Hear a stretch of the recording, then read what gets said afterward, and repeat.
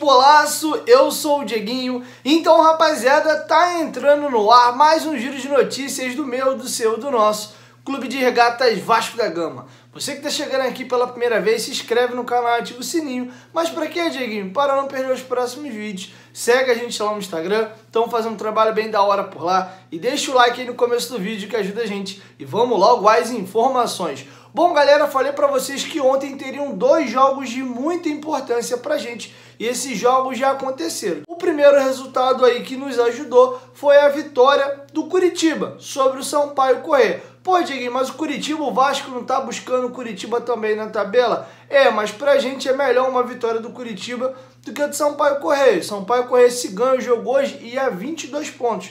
E o Vasco, em caso de vitória, no máximo chega a 20 pontos na competição. Então é um motivo também para o Náutico vir ó, babando para cima do Vasco porque pode ter a sua liderança ameaçada. O jogo que foi ruim para a gente foi o Guarani. Venceu fora de casa o Confiança por 4 a 1, chegou a 22 pontos e mantém-se ali na terceira colocação. Tem dois jogos que ainda podem fazer com que o Vasco chegue ao G4 ainda nessa rodada. Vou colocar para vocês na tela, mas pelos jogos aí não consigo vislumbrar o Vasco no G4 nessa rodada. Vocês estão vendo aí o Operário Joga em Casa e também o Goiás. Essas duas equipes aí têm tudo para vencer os seus jogos. Então o jogo do Vasco contra o Náutico amanhã é de extrema importância para pelo menos o Vasco colar no pelotão de cima e não deixar a galera largar. Pelo menos uma colocação é certo a gente ganhar na tabela, porque nós iríamos ultrapassar Sampaio Correia. Então o Vasco pelo menos chega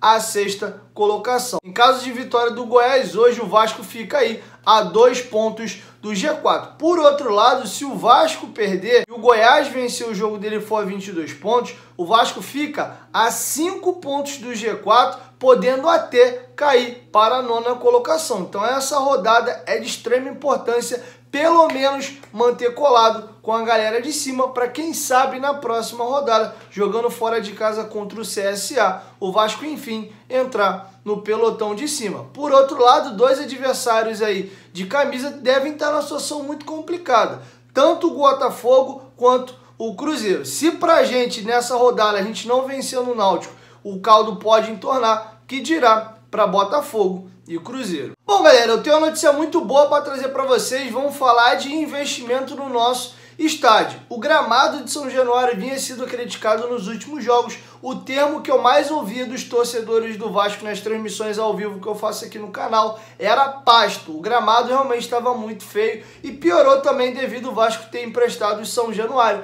para o Fluminense jogar alguns jogos. A situação é a seguinte: Há mais de 30 anos o Vasco não fazia uma reforma na sua drenagem, que é de extrema importância para que o gramado se mantenha numa qualidade melhor. O Vasco vai estar trocando todo o seu sistema de irrigação. Vou ler para vocês a nota oficial do Vasco que traz mais detalhes sobre a drenagem do gramado. O Clube de Regatas Vasco da Gama iniciou nesta quinta-feira a implantação de um novo processo no campo principal de São Januário.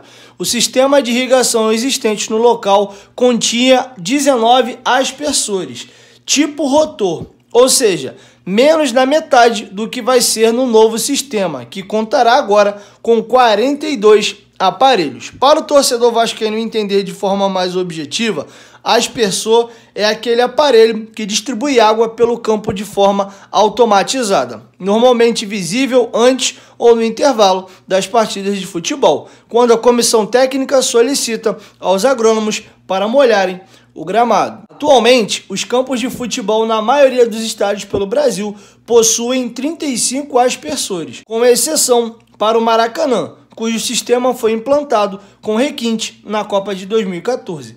Para superar toda a complexidade de necessidade de rega devido ao sombreamento da cobertura sobre o campo, São Januário terá então mais do que a média de cobertura, alcançando 100% do campo. O novo sistema de irrigação terá equipamentos da Rainbird, empresa que é referência mundial no assunto e funciona por aspersão automatizada, com aspersores escamoteáveis, válvulas solenoides e conjunto motobomba.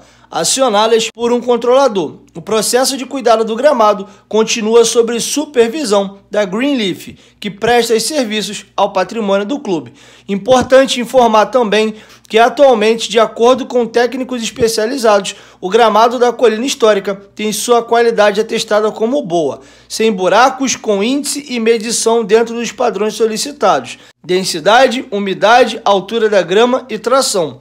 O novo sistema de irrigação, o constante e intenso trabalho da gestão realizado pelo Vasco e o maior intervalo entre os jogos trará cada vez mais excelência no trato do tapete Cruz Maltino. Bom, galera, ontem na coletiva, Germancano foi perguntado como ele se sente no Vasco e o atacante se declarou e se derreteu todo pro Vasco foi muito gostoso ouvir o que ele disse. Eu vou trazer para vocês aqui o comentário dele. Mas antes, presta bastante atenção. Você que acompanha o canal Futebolaço, você gosta de notícia e informação, não é bem verdade? Eu te apresento o melhor aplicativo de futebol do mundo, OneFootball. Cara, a OneFootball é espetacular. Se liga em todos os serviços que ela te presta de graça na palma da sua mão. Baixando o OneFootball, além de ter notícias do futebol brasileiro e do futebol europeu, você pode assistir a todos os jogos do campeonato alemão de graça. E o mais bacana, você pode personalizar o aplicativo com o seu clube do coração. E aí toda vez que tiver notícia do Vascão, a OneFootball vai mandar uma notificação na tela do seu celular. Além também de você poder acompanhar dados estatísticos, tabelas e jogos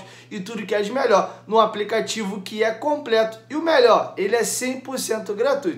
Baixe o OneFootball. O OneFootball é parceiro do canal Futebolaço e o link está aqui na descrição do vídeo e no primeiro comentário fixado. Quem baixa o OneFootball consegue viver sem. Confere Germancano aí falando do atual momento dele no Vasco e dizendo que quer continuar fazendo história com a camisa do Vasco. É uma honra muito grande, eh, primeiro representar esta camisa de Vasco, eh, fazer muitas coisas aqui eh, dentro de, de Chimi. A verdade, estoy muy contento, muy, muy convencido de, de lo que yo quiero.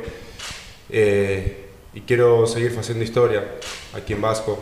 Eh, estoy muy tranquilo y muy feliz. Y cada vez que entro a San Jonario, eh, para mí es un orgullo muy grande.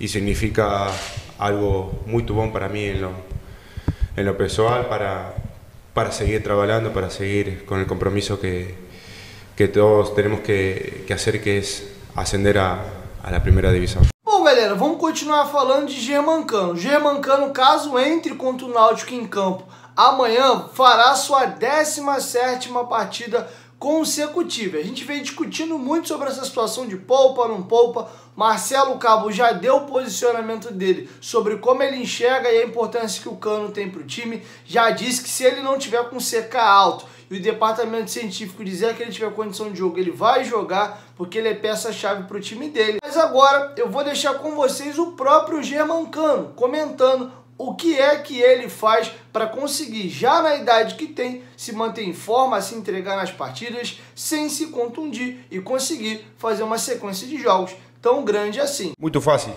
é descansar bem, eh, boa alimentação, eh, cuidarse, tomar proteínas. Eh, el cuidado pessoal es muy importante para, para cada jugador.